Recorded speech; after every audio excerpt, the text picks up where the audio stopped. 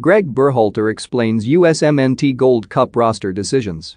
The United States men's national team head coach Gregg Berhalter announced a final 23-player roster ahead of the 2021 Gold Cup on Thursday.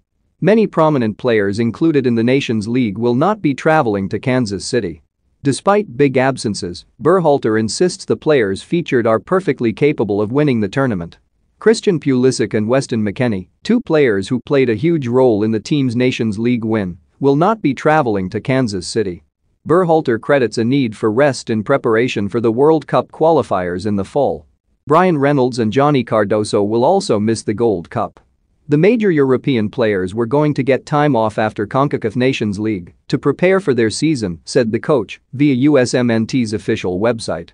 Some other players that are in critical situations in Europe, we felt that it was more important for them to be in pre-season with their team and give them a good chance of making a positive impact with their new coaching staff and with their club rather than to be in the Gold Cup. I talked about being able to affect a larger player pool, being able to have really good information on a broader pool based on the congestion of World Cup qualifying, he later added. We get to work on another group, we get to solidify this pool so that when we go into qualifying, we know where everyone stands. As European players rest, young Major League Soccer players will get a chance to shine. James Sands and Gianluca Busio are significant additions to the roster after fantastic performances in MLS. Sporting Kansas City player Busio, in particular, has impressed Berhalter with his ability on the ball. I've been really impressed with the way he's been playing, mostly at the number 6 but also, we see him also being able to play an attacking midfield position.